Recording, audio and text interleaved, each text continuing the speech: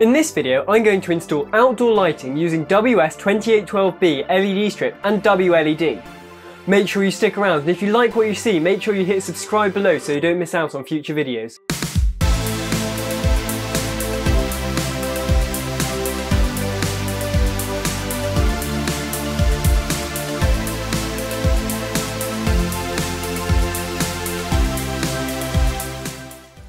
Hi, I'm Will from Will Surridge Tech.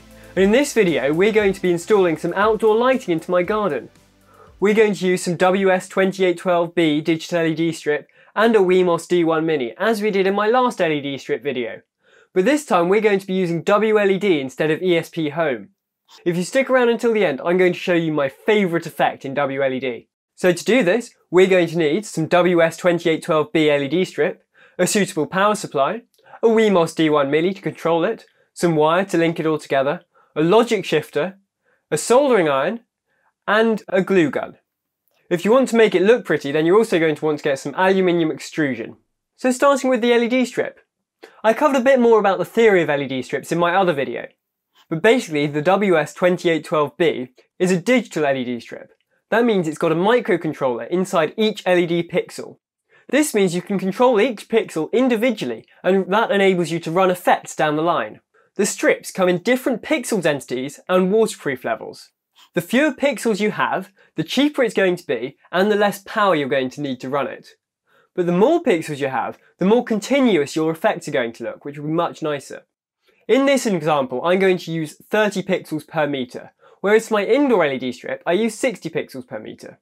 As for waterproofing, there are three different levels of waterproofing that the strip can come in. You can either get it in no waterproofing at all, like I had for my indoor strip, or you can get it with a silicone coating across the strip. This is IP65 rated, or you can get it in IP67 rated, so the whole LED strip is inside a silicone tube. Remember, if you cut the LED strip at any point, you're going to need to reseal it, so you can use some hot glue or heat shrink to do this. I'm going to use IP65 rated LED strip, as it's going to be inside the aluminium extrusion, so it shouldn't get affected by the rain that much. It's also not going to be submerged. As for the power supply, as I mentioned in my last video, you're going to need 0.18 watts per LED pixel. And I've got 6 meters of LED strip at 30 pixels per meter, that means I'm going to need 35 watts of power. At 5 volts, that equates to 7 amps. If your power supply isn't beefy enough to supply the power to your LED strip, you can always limit the current draw in the WLED software later on. There are three main types of power supply you can get for low voltage. You'll either have one with a transformer built into the plug, like your phone charger. These generally go up to about 4 amps. Or you have ones with a separate transformer, a bit like a laptop charger. These can go up to about 8 amps. Or you have the ones like I'm using today, which is just a metal casing with screw terminals for the input and the output. These can go up to a whopping 60 amps. But these do require you to wire the power yourself, so if you're not comfortable playing with mains voltages, then I suggest you use the other form instead. I don't want my LED strip to be a permanent installation, so I'm going to cut my LED strip every meter and stick it inside an individual bit of aluminium channel. I'm then going to add connections to each of the ends of the LED strip so I can join them all together when it's in place. If you're making a permanent installation, then I suggest leaving the LED strip in one long length. The fewer connections you have to make, the less likely things are to go wrong. But if you do have to make a connection, you can just solder between the two pads at the end of each LED strip rather than adding crimp connections like I'm doing. As for power injection, this depends on how long your run's going to be and how thick the cable is you're going to be using. I'm going to inject every 2 meters because I'm using quite thin cable. Because of the way I cut my LED strip, I can use the pre-made injection wires every 2 meters that are directly attached to the LED strip. But if you can't do this, then you can solder directly onto the pads instead. Once we're happy with all our connectors, we can move on to making the circuit board for our controller. I'm going to make my circuit on a bit of strip board, but you can make yours in a breadboard or even just using jumper wires if you prefer. For this, we're going to need our Wemos D1 Mini and our logic shifter with header pins attached. We're going to get the 5 volts from our power supply, and we want to connect the 5 volt line to the 5 volts on our Wemos D1 Mini and the high voltage on our logic shifter. We want to connect the ground to the ground on the D1 Mini and the ground on both sides of the logic shifter.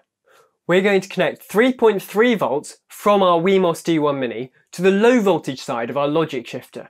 Then we're going to connect D4 to one of our low voltage data inputs on the logic shifter.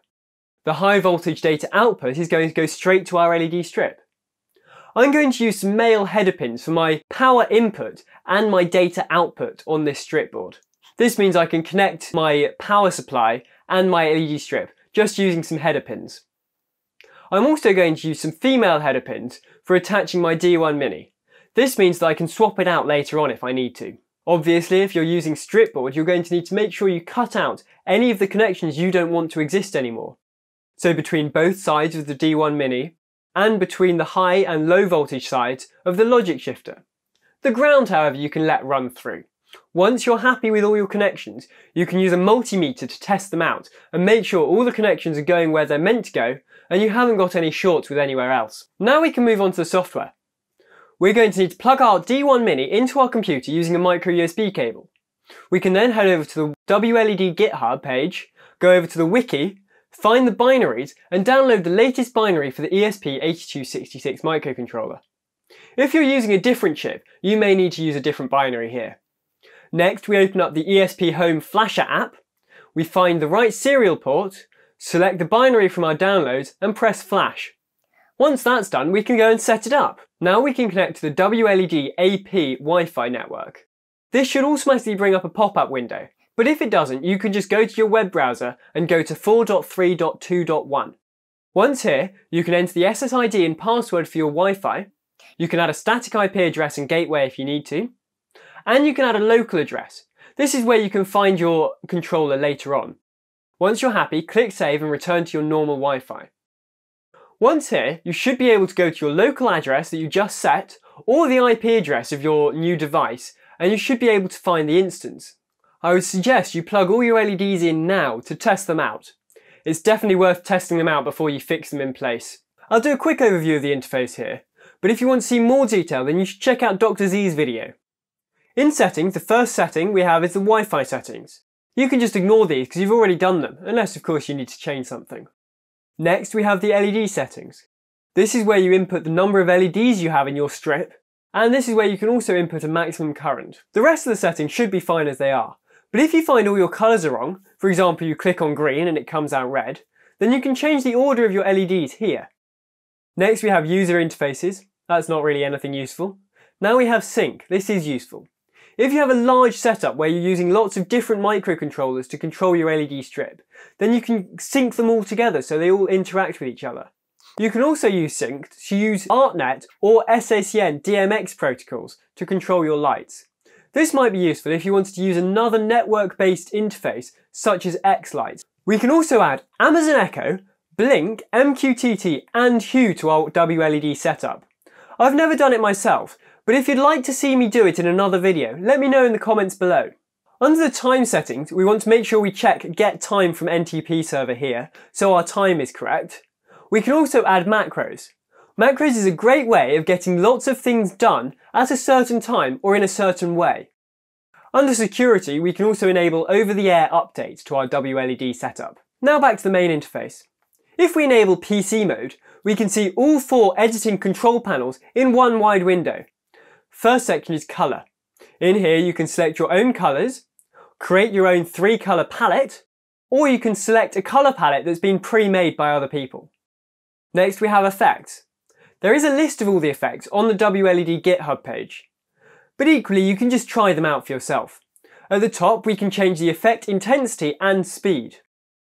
Next, we have segments. This is useful if you want to split your LED strip up. For example, I've got my LED strip in two sides of the garden, so I'm going to have one side of the garden on one segment, and the other side in another segment. This means you can control them individually or together. Lastly, we have palettes and presets. This is where you can save your views if you want to. You can only use slot 16 if you want to save multiple segments. So I'd suggest once you've got your segment set up with the correct numbers of LEDs, you save it in slot 16. I would also suggest you go into your settings and recall slot 16 on boot.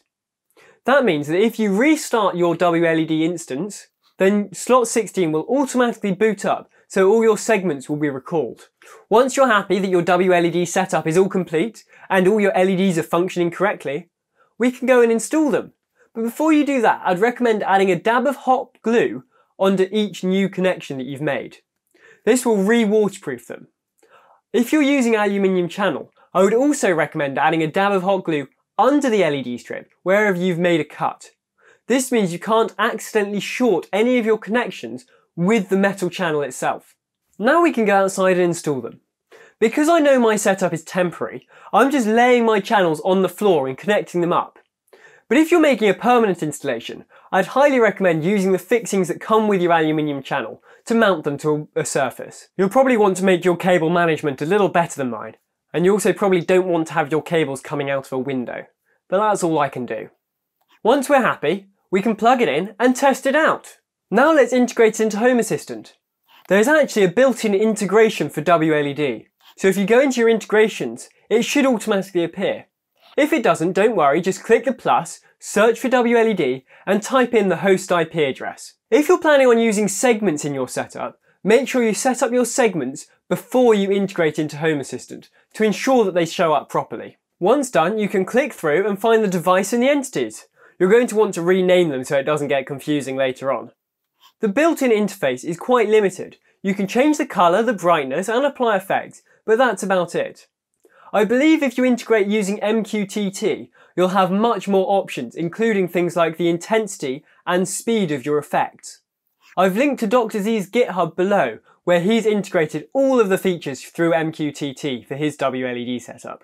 And there we go!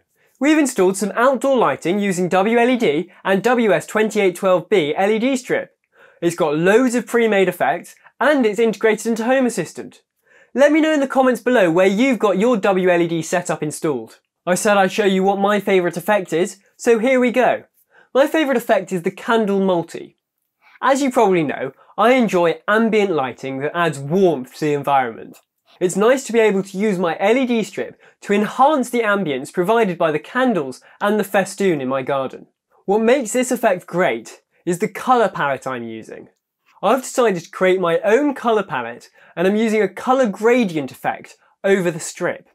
My colour palette goes from magenta to a warm orange to a blue. And you can see how it gradually changes throughout the strip. For the candle effect that I was looking for, I've set my time to 15% and my effect intensity to 100%. It looks great. And there we go. Digital LED strip with WLED and integrated into Home Assistant. Make sure you hit the subscribe button below so you can find out more about my smart tech and how you can build yourself the ultimate smart home.